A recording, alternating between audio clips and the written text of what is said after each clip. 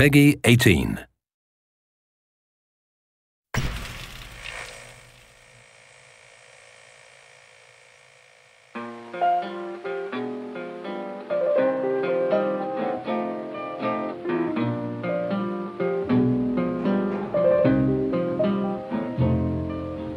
It's all over, but the cry. With the world poised on the brink of war, Vault-Tec is reporting a record number.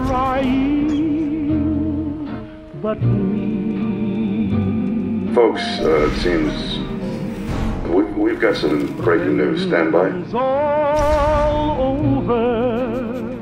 No, I'm trying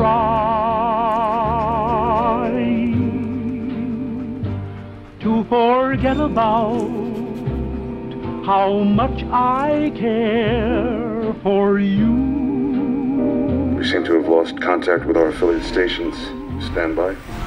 We do. We do have. We do have coming in confirmed reports of nuclear detonations. My God. Our soldiers were right.